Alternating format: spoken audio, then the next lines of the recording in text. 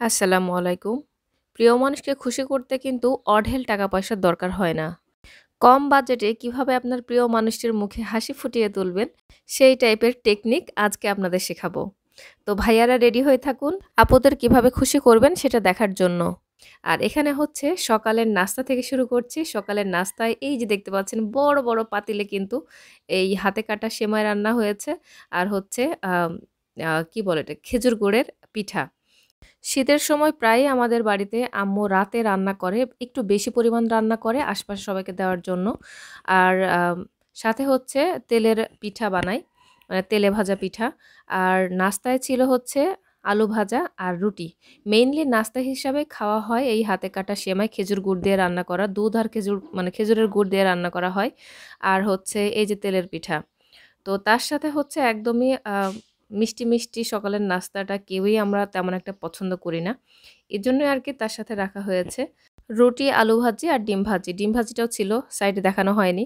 তো যাই হোক, আমি এখানে রুটি, আলু ভাজি খেয়ে নিয়েছি। একটা রুটি খেয়েছি আর তার সাথে খাব ঠান্ডা ঠান্ডা তেলে ভাজা পিঠা মানে খেজুর গুড়ের পিঠা আর খেজুর গুড়ের হাতে কাটা সেমাই। এটা যে কি মানে প্রিয় একটা জিনিস আমাদের শীতকালে আমাদের এলাকার আপনাদের বলে বোঝাতে পারব না। আর এই যে দেখতে পাচ্ছেন আমার ব্রেসলেট, অনেকেই দেখতে চান তাই দেখিয়ে দিলাম। আবারও পরবর্তী কোনো ভিডিওতে দেখিয়ে দেব। আর এগুলো খাওয়ার পরে এক কাপ চা না হলে তো হয় না। মানে এত পরিমাণ ঠান্ডা পড়েছে যে, কি বলব আপনাদের? মানে এক কাপ চা হলে খুব শান্তি লাগে। একদম খাঁটি গরুর দুধের দুধ চা। মানে কি যে মজা লাগে, এটাই হচ্ছে মানে গ্রামের শান্তি আর কি। তো যাই হোক, আমার একটা পার্সেল আসার কথা ছিল, সেটা চলে এসেছে। সুন্দর একটি গিফট বক্স যেটা খুব সুন্দরভাবে প্যাকেট করা। তো কোথা থেকে কীভাবে এসেছে, সেটা আমি বলে দিচ্ছি। এভাবে সুন্দর করে সুন্দর একটি কাগজ দিয়ে মুড়িয়ে কেউ আমাকে গিফট দিলে আমার মনটা অনেক বেশি খুশি হয়ে যায়। যদিও বা আমি খুব বেশি কিন্তু এরকম ফর্মালভাবে গিফট পাই না। তো আমার এই প্যাকেটটা দেখে আমার মনটা এত পরিমাণ খুশি হয়ে গেছে, আমি ভিতরে কি আছে জানি না। কিন্তু আমার প্যাকেটটা দেখে মানে প্যাকেজিংটা দেখে আমি বেশি খুশি হয়ে গেছি।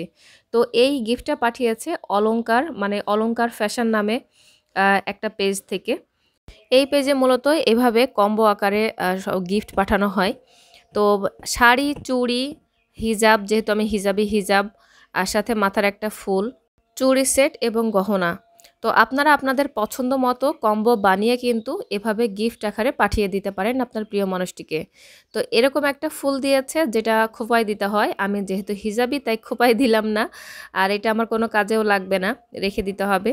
আর চকলেট পাঠিয়েছে, যে ভাইয়াটা পাঠিয়েছে তার ভাগ্নির জন্য, তার ভাগ্নিকে হ্যান্ডওভার করে দিয়েছি। আর এটাতে হচ্ছে গহনা ছিল মানে গলার একটা আর কানের দুইটা দুল।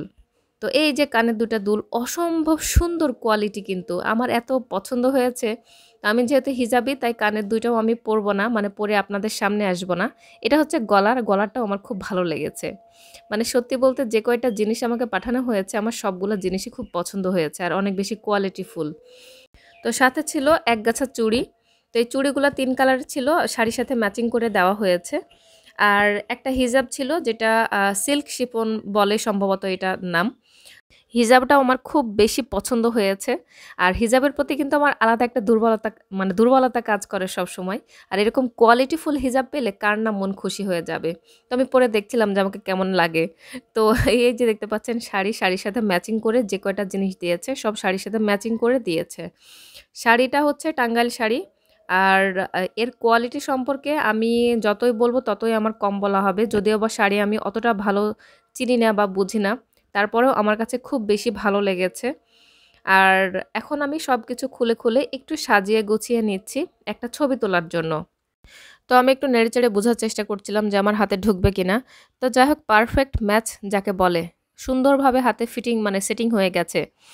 তো শাড়ির কোয়ালিটিটা একটু কাছ থেকে আপনাদের দেখায় দেখেন, একদম কিন্তু পাতলা না।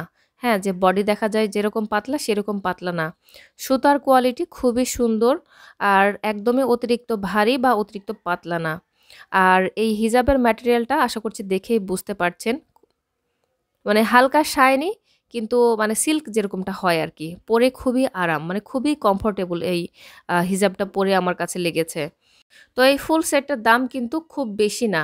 আপনারা আপনাদের পছন্দ মতো পেজ থেকে জিনিস ওনাদের বলে দিবেন। ওনারা ঠিক সেই মোতাবেক জিনিসপত্র দিয়ে আপনার প্রিয়জনকে পাঠিয়ে দিবে। তো আর এই গিফট বক্সটা খুলে যে কি খুশি হবে, আপনারা চিন্তাও করতে পারছেন না। মানে ভাইয়াদের কথা বলছে, ভাইয়ারা চিন্তাও করতে পারছেন না।